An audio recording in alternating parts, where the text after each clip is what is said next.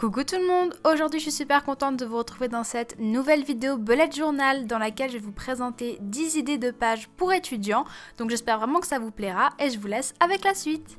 La première page que j'ai décidé de vous présenter est la page qui selon moi est vraiment la base quand on est étudiant.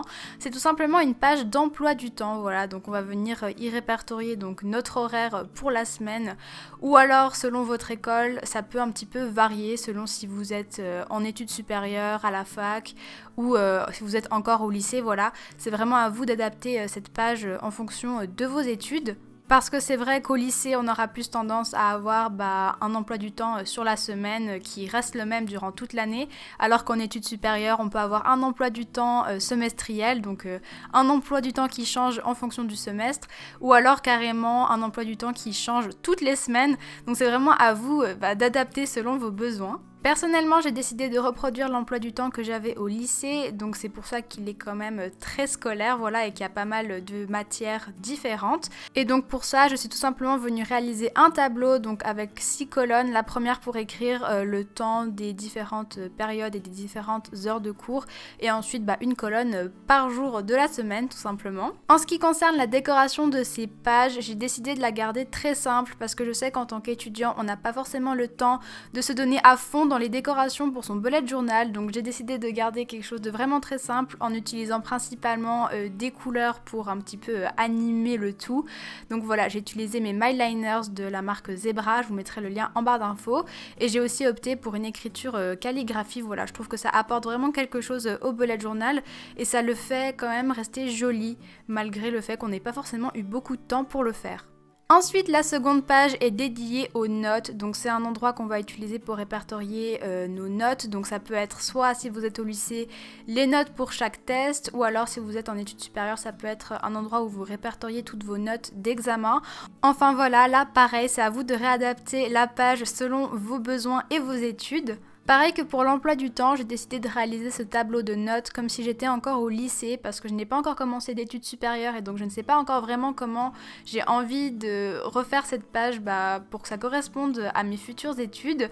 Mais je pense vous faire une vidéo de toute façon euh, sur mon bullet journal quand j'aurai commencé mes études supérieures. Je pense que ça peut être intéressant et que bah, les gens qui sont aussi en études supérieures pourront un petit peu plus euh, se retrouver euh, dans mon contenu tout simplement.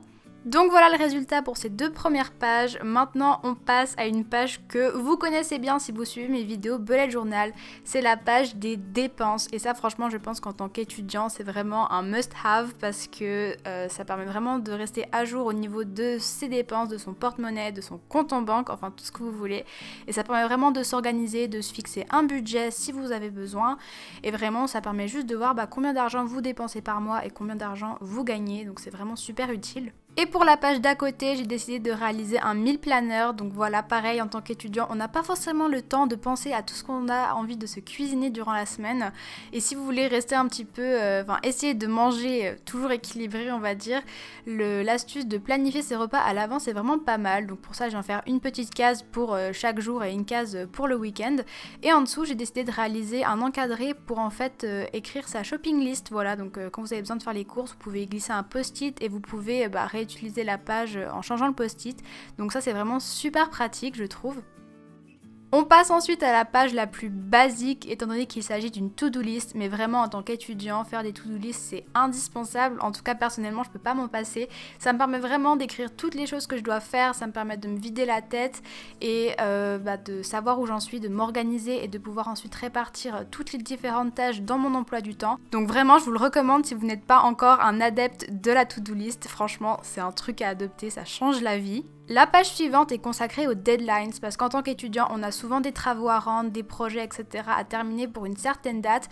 Et donc pour éviter d'oublier tout ça, j'ai décidé de créer un petit tableau assez simple dans lequel répertorier bah, toutes ces dates euh, qu'on ne doit absolument pas oublier. Le tableau est tout simplement composé de trois colonnes. Donc la première est pour écrire le nom du projet à rendre ou du travail. La seconde est pour écrire la date. Et la dernière est séparée en cinq plus petites colonnes et permet en fait de noter l'évolution du projet au fur et à mesure bah, qu'on le réalise entre guillemets.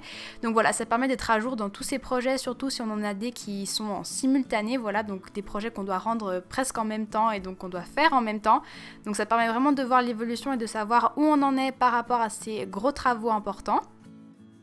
Ensuite, on passe à la partie un petit peu plus euh, self-care de cette vidéo, voilà, parce qu'en tant qu'étudiant, c'est vrai qu'on a tendance à être un petit peu submergé par le travail et on a vraiment tendance à s'oublier, mais c'est très important de continuer à nous occuper bah, de nous-mêmes et à avoir euh, quand même une vie plus ou moins saine.